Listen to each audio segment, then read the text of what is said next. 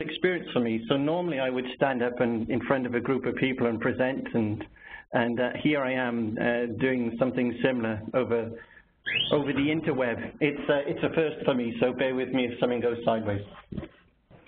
So inside parking UBC, meters, gateless, LPR, and, and all that jazz. Um, in terms of in terms of agenda, um, just some quick intros, uh, some background on the problems that we faced, uh, the, the, solutions that we've deployed, the results we've seen, what are we doing next, what do I think is coming up next, and then your questions. So fairly compact. Uh, there'll be plenty of time for questions at the end, so if you've got anything in particular that you want to ask, start throwing them in, uh, and, and I'll get to them. The University of British Columbia, so where are we? Well, we're on the western outskirts of the city of Vancouver on a peninsula. This is a photograph of it. It's a very large campus of about 1,000 acres, just slightly under. Um, fairly compact core, lots of undeveloped urban space. And in the photograph, you can see the city of Vancouver uh, off to the left at about 10 o'clock, uh, and logs and wood and stuff like that uh, floating in the Pacific Ocean to the right. In terms of the campus itself, uh, we're, we're quite large. We've got a student base, depending on who you ask, of anything from 55 to 65,000 um, undergraduates and graduates, about 15,000 staff, and an additional 10,000 people living on campus. So we're quite large. Um, and over, over the years, that's, that's changed quite a lot, as you'll see in a second.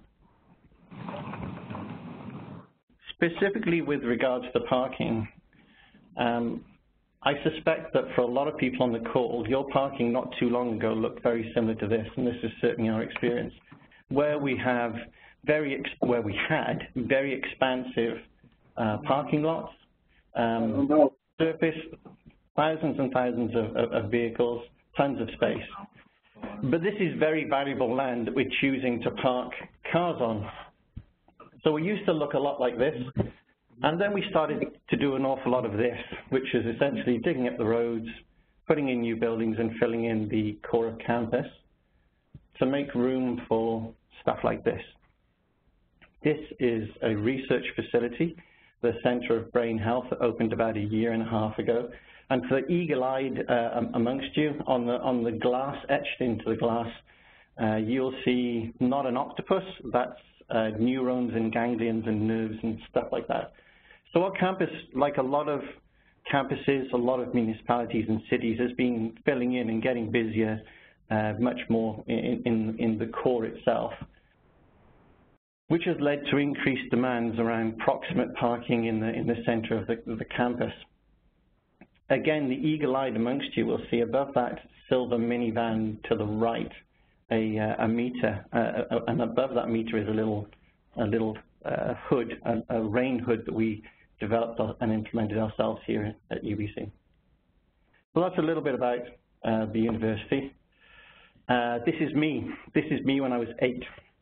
The reason that, uh, that, I use an older photograph as opposed to a current one is twofold. One is I don't think I've changed materially, and if anybody, if any of you have ever met me, um, I think I look fairly similar, somewhat. I've, I've filled out over time as, as adult beverages have taken their toll on me.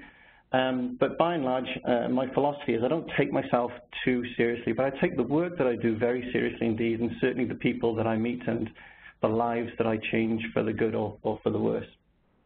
So that's the introduction. In terms of the problems we faced, I suspect that all, if not most of our challenges um, are, are very similar to yours actually. So capacity constraints. So campus over the years has been reduced from 14,000 spaces down to a little over 7,800. The university, as I said, has been filling in with new research facilities, but the real crux of the problem has been caused by adding additional student housing. So students want to live on campus and have that university experience. But there's been no parking added. That's one piece, capacity. The second is, is that uh, there's been a lot of pressure around access versus convenience. So lots of groups have been very vocal, so uh, handicapped immobile customers, obviously, parents who are concerned about proximate access, so um, anybody who's involved with universities in North America is very well versed around student safety um, and the risk of uh, unfortunate sexual or other uh, personal attacks, right the way through to how do we get people who are going to uh, dropping their kids off at summer camps in the, the, the, municipal city environment, that would be schools. How do we get pick-up and drop-off facilities? So access over convenience. There's a lack of uh, system integration. I joined UBC about three years ago, and I'm not from the parking industry. My background is actually, um, I came from healthcare, and before that, uh, large multi-site retailing. But it was clear to me there was a lack of system integration. So there was lots of disintegrated, disaggregated systems and equipment. So we had different meter types. Uh, some of it was somewhat connected, some of it was not. Um, different gates, different gate equipment. So it wasn't particularly simple for our customers to understand, and in terms of operational productivity, it was very much suboptimal. Like everybody on the call, um, the, the, we had increased demand. So everybody wants more money at the end of the day. So increase your revenue and decrease your costs. That's very simple to, to say. Not quite that easy to, to pull off. And I'll talk more about that in a second. There's also a need, I think, as uh, as within any urban area or any campus setting, uh, to mitigate capital expenditure. So long term, that means parkades or parking garages, whichever term you prefer to use. But they're pretty expensive. Uh, for us, the short-term issue was, was our um, parks equipment. So our gates, our access equipment and transponders was pretty old, and I'll talk more about that in a second. Uh, it, there's increased needs around the customer. So gates, by and large, at some point caused delays, and customers told us in no uncertain terms that they were fed up about delays, and essentially they were saying, let me out. And then the last piece, any, any large organization is more and more in, uh, concerned about sustainability. So greenhouse gas uh, reductions um, were, were increasingly uh, hard to achieve. Most of the low-hanging fruit has, has been picked. So how could we, parking, play, play a role in that? I don't think there's anything in there that's, that's particularly unusual to the parking industry. We resolved the capacity uh, uh, issue by essentially reducing demand. So this is this is the volume of, of, of um, individuals, how they get to campus. So in fall of 97, most people were driving here either in a single occupancy vehicle or in a high occupancy vehicle. Only 18% were taking transit. In and around, I think it was the year 2008, uh, the universities and the local transit operator um, brought in this universal student pass. And it, it essentially um, put an awful lot of student volume from vehicles onto transit. So in the fall of 2014, transit now accounts for 55% of, of, of, people's options to get to campus, or how they get to campus.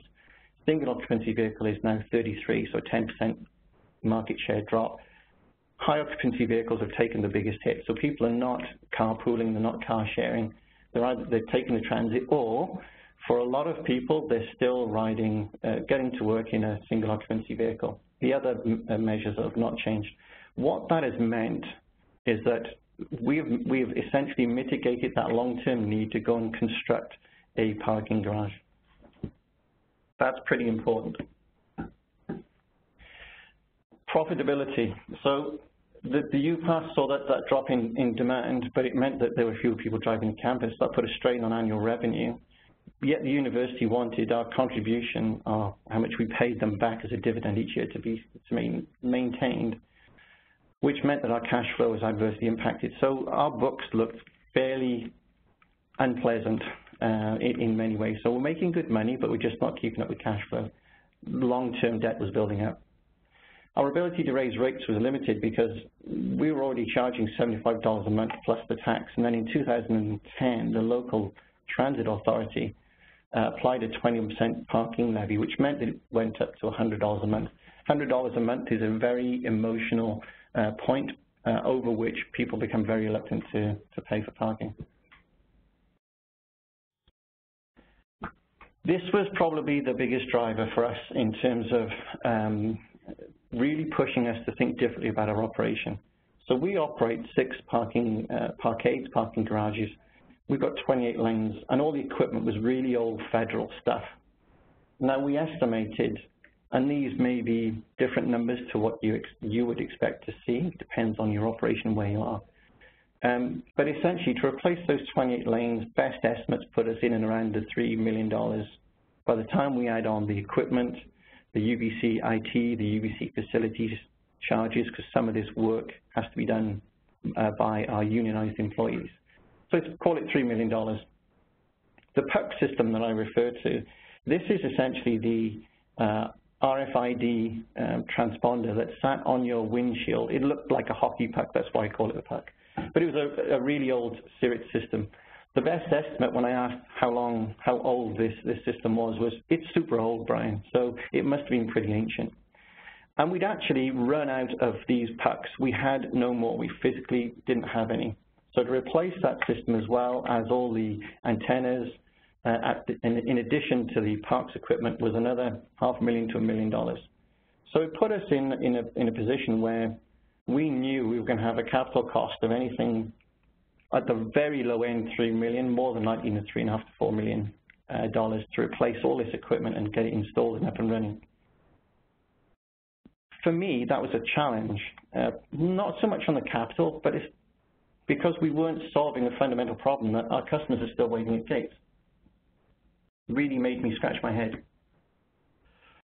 So you could say that our access and control was suboptimal, and these ladies are actually trying to, well, they did raise the gate. This is an old screenshot. Um, you can see some of the equipment. It's not the best photograph by any means, but uh, I suspect that for many that's, that's a similar situation. Your access isn't great, and neither is your control.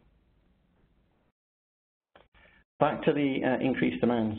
Uh, so customer service, so all gates, they break down, these delays, and our loops were telling us that on average waits into and then another wait as you leave was in the 20 to 30 second range. During events, it could be horrific. I remember uh, an, an, event which was uh, it was it was uh, targeted to to mums and small toddlers. I can't remember the name of the event. Um, the gates failed at this particular parkade, and all these mums with their toddlers in the back couldn't get out. So there's a long conga line of cars jammed full of kids who were tired and hungry and probably needed diaper changing and all that kind of stuff. And it was not good. It, the feedback was as, as, as uh, horrific as you can imagine. And the, that led to an overall uh, wider conversation was, was about value for money. So here we were, we were providing not great service, but we're charging pretty good money for it. It, it was an argument that we weren't winning. And then the last one, uh, again, to touch on is sustainability piece. So transportation accounts for most of the greenhouse gases, but the university had not really done a lot about um, not really done a lot about parking. So instead of focusing on the basics, the, the, the solution was, well, you know, when we construct a building, we'll make it LEED compliant. And in terms of parking, let's put EV charging stations everywhere. That's great. But I don't know many people on this call who, as an example, are driving Teslas. I'm not. So EV charging stations are, good, but they're not the answer. Okay, so solutions that we've deployed. So the, the first place that I started was to develop the vision. So I generally speaking approach problems like this with, with trying to develop something with, with the end in mind. And there's three factors for me. Garages, parkades will become smart multi-dimensional hubs. Proximity to destinations will be reduced and in high demand. And it's the conversation is going to be about access and not proximity. So we developed an 86-page uh, white paper uh, called Parkades of the Future, and this is just a quick opening statement from it, which I think is applicable here. So in the future, parking structures at UBC could be far more than vessels for storage of vehicles. Parkades garages could intentionally evolve into intensified intelligent hubs that act to promote positive experiences for students, faculty, staff, and visitors. The facilities will actively seek to engage and enhance users' social lives while promoting environmental responsibility, economic stability uh, in the process. So really what we're talking about here is we, need to, we needed to revisit how we operate the garages with a view to creating smart parking to resolve these service issues to improve sustainability and to, to rectify the integration challenges, because otherwise we just weren't going to be profitable in the long term. So what do we do? Excuse me. So the first piece is that we, first phase, we looked at essentially focusing on the uh, basics. So we went to a single meter type. So we were already using uh, digital Luke meters in some locations, not all. Moving to a single meter type really gave us uh, and gave the customers consistent experience. And from an operator perspective, uh, easy to operate and maintain. So this is, this is very much the Southwest Airlines model. They only use 737s, is my understanding. So from a customer's perspective, you always know where you're sitting because 15B is 15B in all the planes. And from an operator's perspective, it's just easy to maintain. We so we decided single meters, um, so we went down that road. We implemented pay by plate. Pay by plate, again, improves the customer experience because you don't have to return to the car to display the ticket. That's by far and away the biggest bugbear that, that I heard uh, around the, the systems and the processes that we had deployed. From an operator's perspective, it improves revenue because you can't have ticket passing and the associated revenue bleed. And for the permit holder, account creation uh, makes sense for the operator because we get information about the customer and data is critical. It also means that we can now enforce by mobile LPR. This, this transformed the staff productivity. Um, it made a, a, huge difference in terms of the engagement of the teams as well because whilst Vancouver is a moderate climate, it rains a lot, very much like Seattle. Uh, and for, for those folks on the line who are in cold climates, I'm sure you know and appreciate how painful it is to have uh, your enforcement team walking around in the, in the, the deepest, darkest days of winter, as opposed to uh, driving in, in the comfort and warmth of a vehicle. So that's a lot of talking and a lot of text. So, so here's, a, here's a couple of photographs. So this shows our Luke 2 meter, uh, and, in, and then in the background is uh, one of our three enforcement uh, vehicles. Uh, these, they're all Prius Cs, um, and you can see the cameras uh, on the roof. The other piece that I would say if you're going to go down the road of pay-by-plate um, is to make sure that the signage is really clear and really simple. So we went and studied the market and we came up with this one, two, three uh, kind of process and made sure that the signage across campus, whether it's in a surface lot uh, like this, so this is our stadium, uh, or street um, uh, street parking, the, the signage is consistent and we try to use less text, more icons because we have a substantial population where English is their second language. That was the first thing we did. The second piece then is that we went and integrated all the systems. And this was somewhat in uh, conjunction with the first. So we were already using uh, T2 Flex. So we centralized that, uh, all our plat all, uh, systems around T2. So we're very big on, uh, all our permits now are, are online uh, only, so virtual permits, everything is based around the license plate of the vehicle. So no more of those hockey pucks I mentioned sitting on the dash. I actually walked through one of the parkades yesterday trying to find a photograph uh, to put in this presentation about one for, of, of, one of these old uh, hockey pucks. And I went through five levels of the parkade and I couldn't see a single puck on the windshield. Uh, digital meters, uh, we've already talked those, so the Luke 2s, they're, they're, very good. We found they're very solid. Um, card, coin, and codes.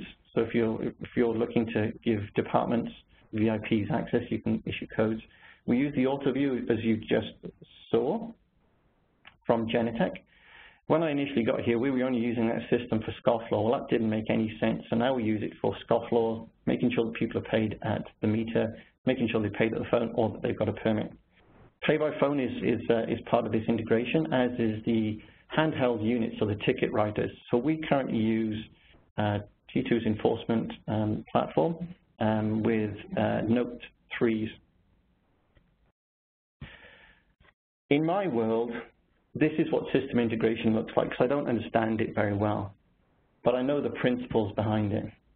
And, and this, is, this is as simple as I'd like to keep it for me, but I know that in the real world, system integration actually looks more like this. It's getting more and more complicated, more and more noisy. The Internet of everything is already here, in my opinion. So the system integration, excuse me, the system integration is absolutely critical, and you can't do that unless you've got some degree of sophistication in the equipment and the processes uh, that, that you employ. So if you're using old coin meters, they're essentially dumb. You're not going to get any information at all from them. Uh, this is where we start to push the envelope a little bit. So the second phase was really around going gateless. So, so now we're at a stage where we've, we've got a single uh, meter operation. It's integrated with uh, mobile LPR. and the next phase is to look at how, how, do, how do we improve the access to the parkades because they're going to be our hubs. There was really three considerations for me. So we could spend a lot of money, as I've already mentioned, to maintain the status quo initially I thought we could retain the gates and, and preserve that, um, pre preserve the revenue by associating a fixed LPR with the gates. The challenge there is that as good as the LPR is, you can't get a system that's 100%.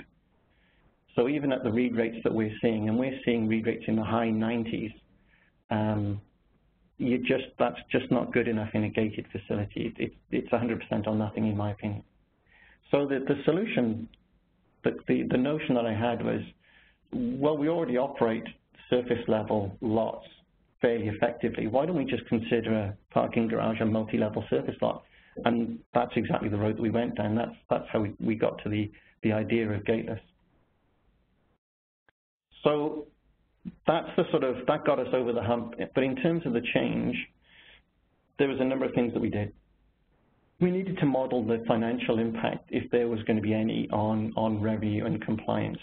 So we played around with the numbers and we came up with a notion of, yep, there's bound to be, at least initially, some people who are going to chance their arm and park without paying. And we did see some of that, but it's actually not as bad as we, as, as we thought. um, so the financial impact, even if there was some bleed in terms of people not paying, we thought we'd actually get higher compliance, and essentially that's exactly what we've seen we, we worked very hard on communicating the changes widely, and I'll show you some more photographs in a second about how we did that. Signage in the, in the parking garages is really, really key because that's people are on autopilot until they get into your facility and then they, then they figure out where they need to park, how do they pay. Location of and direction to meters was something that we heard about initially uh, quite a lot. We don't hear about that anymore. Because if there's six exits, you would think there'd be six meters. Well, not so. You don't. Why would we spend an awful lot of money buying a meter to put in a, a stairwell where that stairwell is very badly used? So we thought, okay, so so we've we've run the numbers, we've crunched it. Let's go and pilot it in the garage, and then see what it how does it work? What does it look like? and it became really apparent, like very very quickly, literally within probably 10 days, that that going gateless um, is something that we can do. So with our current mobile LPR vehicles, we could enforce it to a pretty decent standard. We weren't seeing the financial um, bleed that, that we had some concerns around, and compliance was generally speaking very good. So what does it actually look like? So again, some more photographs. So this is our largest parkade. Um, so initially we had the, the, the, the hanging bars that say enter and do not enter. So to make it really obvious, we put very large um, uh, paint on the front of it to say this is exactly where you where you enter and this is where you exit. And we've had no instance whatsoever because it, it's blindingly obvious. Inside, inside you can see that all we've done essentially is remove the gate. So we've left the islands in place to ensure that and cars don't try and set the land speed record as they as they enter the parkade. So just for just for vehicle movement control, speed control, we we left the islands in there. But other than that, everything's gone. The only thing that we added were um, were some uh, speed bumps, and you'll notice that that they're that, that they're in two parts. Initially, we had them staggered because a speed bump uh, like this, as you go over it, your car just goes up and down. If you stagger them, you actually go side to side. It really slowed people down. It was super, super effective, but it caused a lot of complaints. More complaints about these speed bumps than any other changes that we've made at all. Inside the parkade, um, again, you've got to make sure that the signage is right. So again, the parkades are, the garages are liberally sprinkled with uh, the level, how you pay, um, how, what you need to do, what the instructions are, uh, directions to the, the meter, and very consistent with what you see in surface lots on the street. So again, we, at the exits, uh, we've got one or two uh, Luke meters, again, consistent signage. This one's got a bit more verbiage on it because our legal department like us to have lots of get out of jail free clauses, uh, again, liberally sprinkled around the place. So the second phase of this, uh, of this gateless piece was to look at um, fixed LPR. The reason that we looked at, at fixed LPR, removing the gates improved access. Fixed LPR improves control.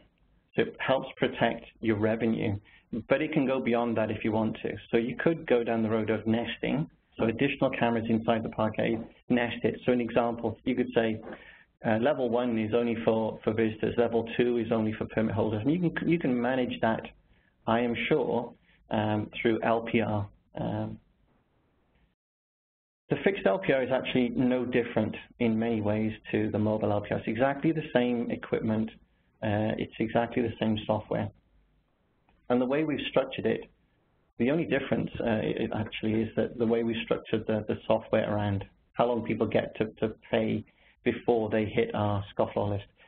So if a permit holder drives into, uh, into the parkade, they've already paid, no problem. If, if, if, they have not, uh, if they're not a permit holder, they essentially get 15 minutes to uh, either pay, so add a meter or pay by phone, uh, or to exit. That Writing that bit of software is, it was the critical piece for us, and Genetec, in fairness, did a very good job for us. What that gives us is a whole lot of information, and I'll show you some screenshots um, about the Genetec solution. Um, gives us a lot of information about real-time information, occupancy infractions, who's coming, who's going. And we can use that to direct staff. So we've got six garages.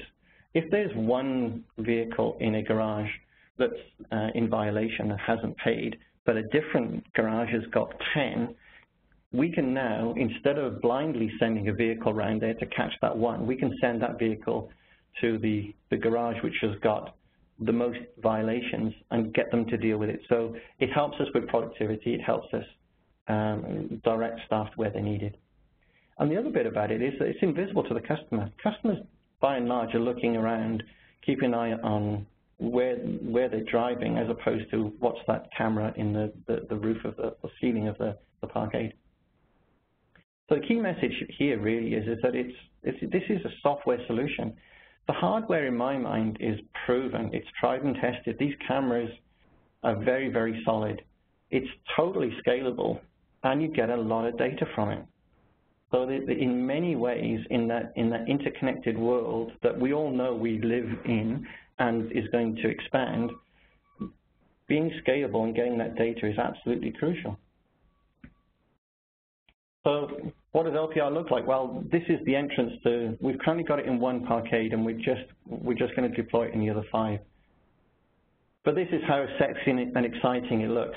So uh, again, so you can see the staggered configuration on the speed bumps, but the, the cameras are just exactly the same cameras that we've got mounted on the vehicles, except they're mounted on the on, on the roof of the parkade as you drive in, and then on the exit there's another there's another set. It reads the, the, the rear of the vehicle as, as it drives in, because not all states or provinces require you to have plates front and back. The data, so this, this is the Genetec free flow product. Uh, so this is a screenshot that we took the, the other day. So this is from the Fraser River Parkade, so the, the location where those cameras are. And you can see that it's got a capacity of 640, 147 vehicles in, in the lot at this time. Occupancy is 23%, seven violations of 4.8%. It refreshes every 10 seconds. So it, it's super accurate. Even if you get a misread on the plate, the system will still say there's a vehicle in there. I, I don't know what the plate number is, and I don't know if they're in violation, but it still contributes to the occupancy. So we're using this, and we like this a lot, which is, which is why we're very confident that when we deploy fixed LPR into the other parkades, we'll get similar results in terms of the ability to improve the access, customers love it, um, uh, but also to maintain control over the, both the revenue and, and the occupancy. This is another screenshot. Again, this is the kind of information you can pull from it. So these are vehicles that have entered, tells you exactly when they've come in, um, duration of the stay, so did they leave, did they, uh, um, what are they doing essentially within the parkade. So there's a lot of really, really good information from it, much like any uh, software system really. So it's a, it's a good product, we like it. So you're probably all thinking there, well, what does this cost? Because this can't come cheap. So phase one, this is all in Canadian dollars. So essentially, our Luke meters and the mobile, mobile LPR cost about $800,000. Uh, phase two was 650, so I've rounded it up just to, because I know that there, there's some smaller costs in there, but our total capital cost for both, for, for all of this was about 1.6 million. So if we, if we say that we're to go down the road of reinstalling gates, re-equipping re and distrib distributing uh, all those pucks to customers was in the three and a half, four million dollars. We've saved at least two million dollars of mitigated capital cost. That's good news. So we go with our number of 1.6 million. Um, that's what we've spent. Our operating cost reduction was about 400,000 a year.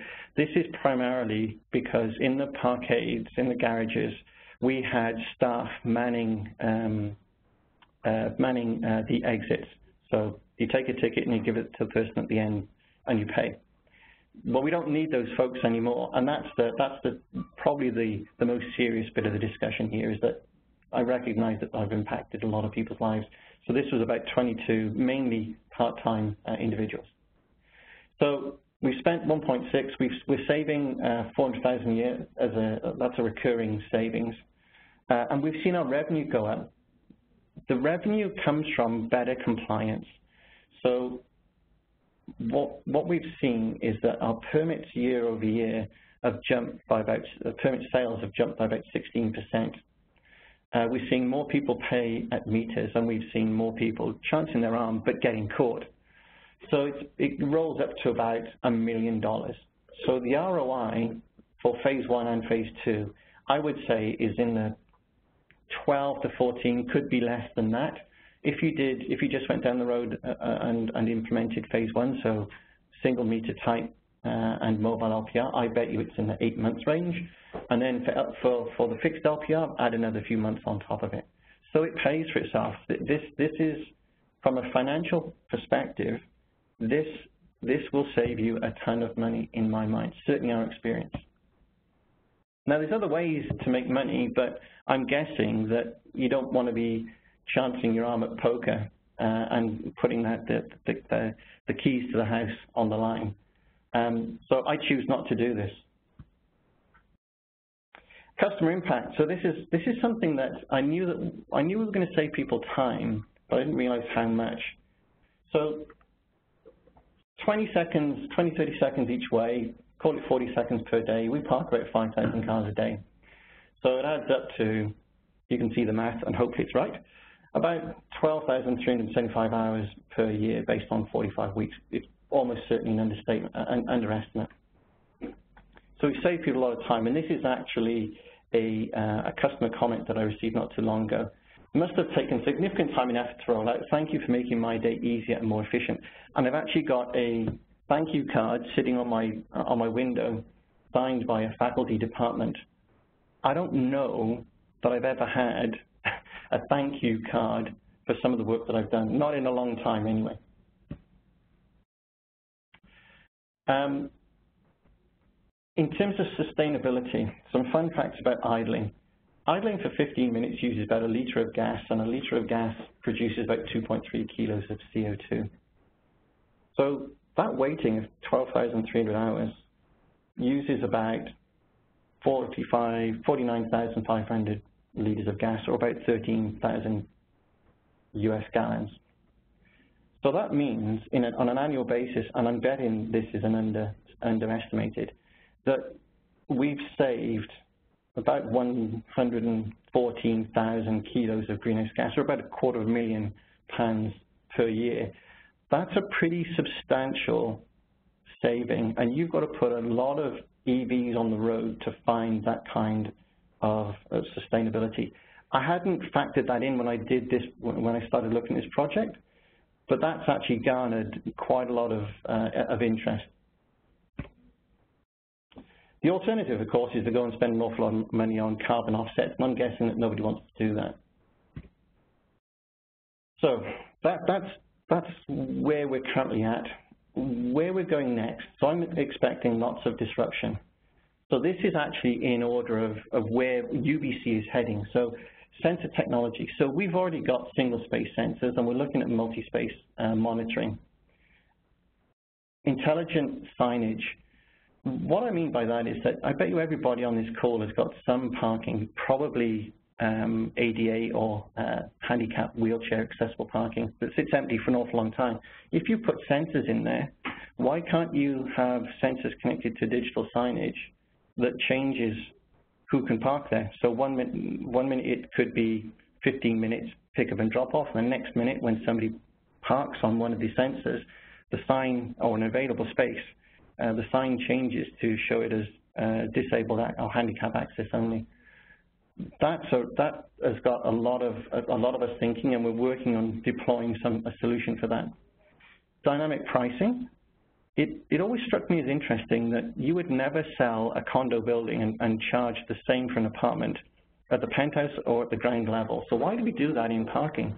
Well, now we've got the ability to, to do that by looking at um, using the fixed LPR to permit and then monitor occupation occupancy levels.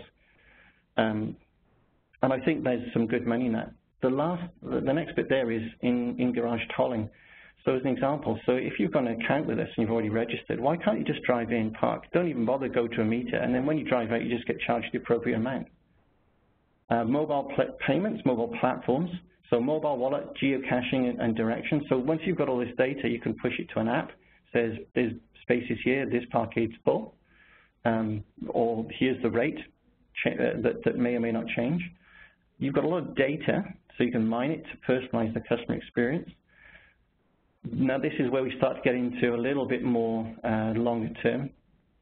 Uh, multimodal solutions, so how do you get people transferring from a car to a bike to walking? Um, alternative uh, energies, so EV expansion. Uh, we are looking at uh, using solar for to, to, put in place a hydrogen fuel cell refueling plant as well. Um, and then last but not least, and this is probably more, more, more for on the manufacturers, connected vehicles. So once you've got all this information, how do you connect with the customer, or more importantly, with their vehicle, uh, to ensure that they're going to the right place at the right time, improve their experience, reduce wait times, and all that kind of stuff. So uh, we're getting to the end. So my summary, so here's my perspective. I actually think we're facing the same challenges I, I, would recommend that you define the finish line before you start. That's where the hard work is. It's not in putting a camera on the, the roof of a parking garage. That's easy. It's figuring out how you, how you do it and do you really want to do it. Uh, the current hardware is it works uh, and the software will scale and adapt. It's still relatively early for some of this stuff. It's very good, but by the time we get to version 4.0, it'll be absolutely stellar. I don't think you need gates. And I've thought about this a lot. There'll be people who try and tell me that in my environment I need gates. I don't know that you do. And, and why don't you pilot it? Why don't you try it? Um, and then the last thing is, whilst you might not need gates, I do think you need intelligent systems and integration. That's, that's where the future lies, I think, is in terms of having these systems, having smart parking, and having it fully integrated internally and externally as well.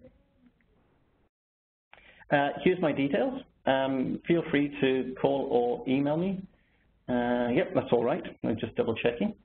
And uh, other than that, that's really all I've got to say. And I'll shut up for a little bit and hopefully you've got some questions and I'll do my best to answer them for you.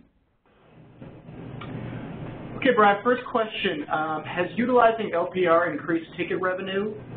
Uh, if so, by what percentage? Good question. Let me just get my financial pack. Two seconds, and I will tell you. Uh, traffic fine revenue, yes. So year over year, uh, so last month we were up 16%. Um, uh, year over year, we're up probably in the 3 to 5% range.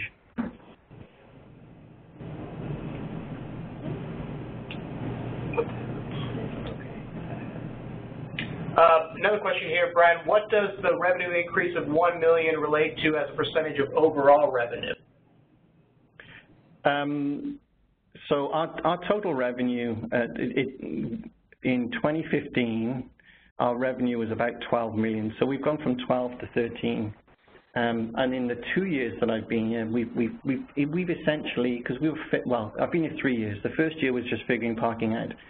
Um, moving to that single um, meter platform and getting our, our, existing LPR fully functioning, not just looking at scofflaw, that helped us move from about 11 and a half so uh, to 12. So in, in I'd say in, in, 18 months, we've added about a million and a half. Um, figure out the percentage. What's that? 10 percent.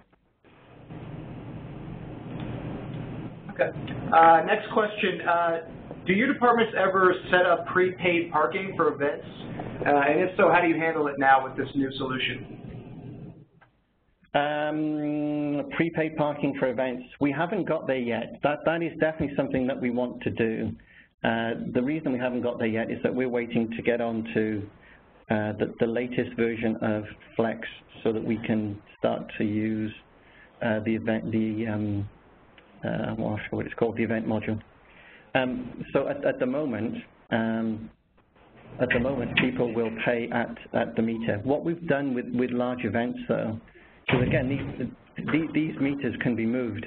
So, so what we do is we actually move meters. So if we've got a big event and we know we're going to need 15 meters, we just literally put 15 meters there and move them from different locations.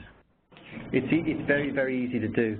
The, the, the concept that we've, that we've dabbled with is actually having some meters on a, on a small, low-level trailer that we would literally wheel up and park at, at the front of, of the entrance to the concert hall or wherever it is, and have people park there, uh, pay there, sorry.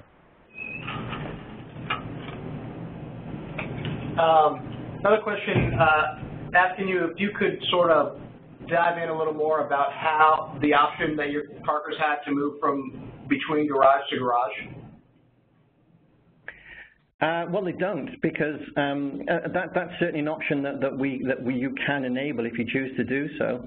Um, by, by and large, if, if you pay at a meter, you've, parked at, you've, you've paid to park a specific location. If you choose to, to move somewhere else, uh, technically you're going to be on the, on the, you'll be on the list of uh, in violation because you've moved from, eight, from location one to location five.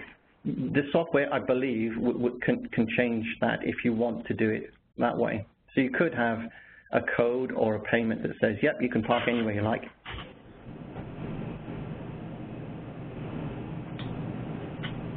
Um, another question here, what is the minimum distance required from the fixed cameras to the vehicle at the entrances and exits?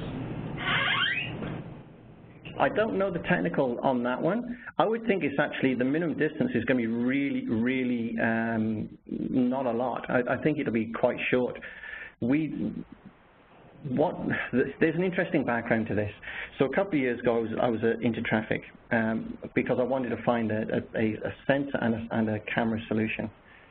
So initially, um, I was told that fixed LPR wouldn't work, and I don't know about, about you, but I, I, don't like to hear no. So, um, so we started working with a, different company who actually gave us, uh, we piloted and, and their, their camera and just just put it in the in the ground essentially on, on some of the equipment. and that can't have been more than three or four feet away. It was very close. And I, so I suspect that the cameras themselves, cause, uh, because they can be tuned, you can have them at, at a fairly good distance or very close up if you want to. Um, a couple other LPR questions here. How was the accuracy for those fixed LPR cameras out of the box, and what tweaks, if any, did you make to improve upon them? Um, well, they're using they're using the same software that that uh, that are, uh, that's currently running on our mobile LPR. So accuracy. So the the issue with accuracy, I think, is it, it's definitely not about the hardware. The software, sure. So I I, I bet you that we get about 96 percent. So it's very very high. But the reason we get such high uh, high hit rate is because BC's got a very it, has got a pretty consistent license plate uh, configuration. Now, I know that's not necessarily true in, in a lot of the states where you can basically print your own license plate at home and, and away to go. But that's where I think that the software will adapt. It, you know, you can have, if you've got 60 different license plates out there, all you've got to do is essentially get that software to, to recognize and read 60 plates, and when somebody brings on a 61st, you just add that to the list. Another LPR question. Can the fixed LPR output um, send its live data to occupancy signage? It totally can, and that's exactly where we're going with it. So, so uh, occupancy UBC is lumpy. So we've got six, six parkades. Three of them are pretty full all the time, and three of them are probably about 50, 50 60%. Um, and that's exactly what we want to do. So now that we've got these platforms in place and we've got this data, we can turn that into usable information. So we can push that to signage uh, on, a, on a mobile app. We can push it to signage on the website. We can send it to a sign that's at the entrance, and that's exactly what we intend to do with it.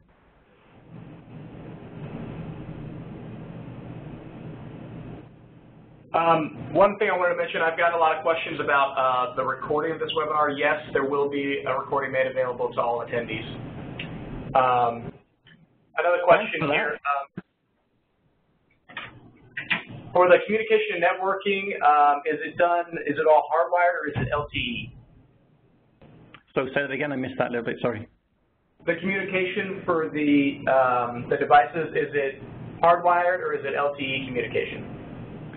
Uh, so mobile is obviously uh, LTE. We do have very good Wi-Fi coverage on campus as well. Um, it's quite surprising actually. We've only found a couple of black spots uh, within the within the garages where we've had to put in a a, um, a cell booster, but they're not particularly expensive. So so our coverage has actually been very good. I've been actually really quite surprised. Another question here. Um, what do you do about an unexpected flood of visitors uh, when you want to hold for your permit parkers? Yeah, so uh, so this is this is where it gets interesting, right? Um, there's no the, the, the way the, the, way I think that we would do it today would be if if we had to essentially reserve locations, we'd have to physically go out there and cordon them off, or put some kind of signage in there. Mm, so yeah, so that that's a, that's a little bit lumpy. I wouldn't say that we've got that solution nailed down just yet.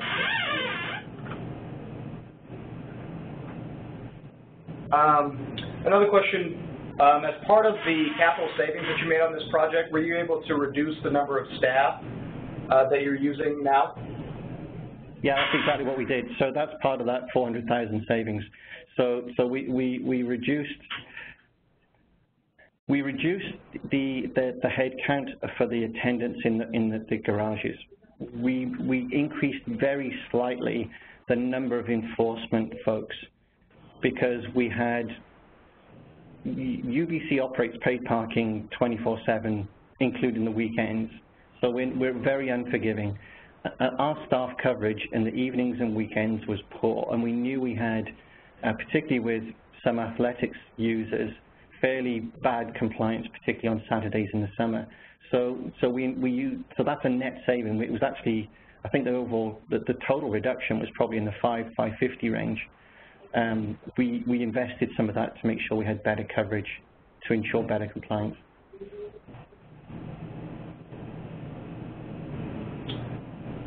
Um, have you had any issues with cars pulling in uh, too close to each other, uh, and therefore the vehicle, uh, the the camera not reading the vehicle behind its uh, license plate? No, we, we, we haven't had that actually. Uh, um, we, we don't get a lot of um, vehicles where either they're too close or their plate is obscured. I mean, we do get some. Uh, it's, it's an inevitability. But, but don't forget, we're still sending mobile LPR through the parkades. We're just doing it as and when needed. So when the guys are, are going around and they come across a plate that they didn't read, they'll just stop and check it. They'll, they'll tap it into their, their handheld. So if the plate is if it's a temporary, uh, if it's a temporary plate, so it's printed on a sheet of paper and it's in your, your rear window, um, it may not be read, but they'll come across it. They'll, they'll, they'll see it as they go through the parkades.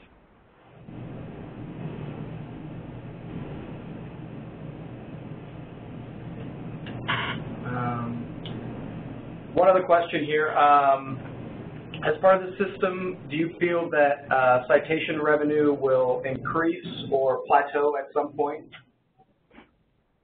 Um, I think it'll probably plateau. I, I don't know that I, I, don't know that it'll continue to increase.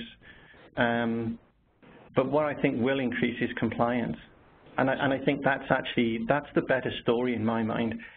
You know, I, as much as this this might pain some people, my my take is is that if I would much prefer compliance over over issuing fines. Um, it, it, it makes life fair and equitable for everybody who's parking. But then there's no arguments. You, you, you know, the, the biggest issue that I suspect most people in parking see is that you charge a lot of money, um, and then, you know, I was only there for two minutes, yet you gave me a ticket. Well, if, if you're not, if people are compliant, you're not giving anybody a ticket. It, it sounds a bit, you know, you know might be you know left coast tree hugger kind of thought process, but um, but but that's very much where I prefer to be. I'd much prefer to be you know high compliance and, and low level of fines. Another question: Have you had any issues with vandalization of your cameras or any other of the new equipment? No, not at all. The the only the only issues that we've had is you know we're a university, right? And I'm guessing you'll see this in cities as well, is, is people putting the occasional flyer on the side of one of the Luke meters. But other than that, we've had nothing. We've had no vandals, uh, uh, no issues in terms of uh, security uh, around the meters or the equipment. So, so yeah, it's, it, it, I've had no issues like that at all. All right, Brian, I think that does it uh, for our questions. Thank you again for everyone joining us today. And like I said, we will be sending out a recording to this uh, early next week. Uh, thank you again for joining, joining us and enjoy the rest of your day. Thanks, Michael.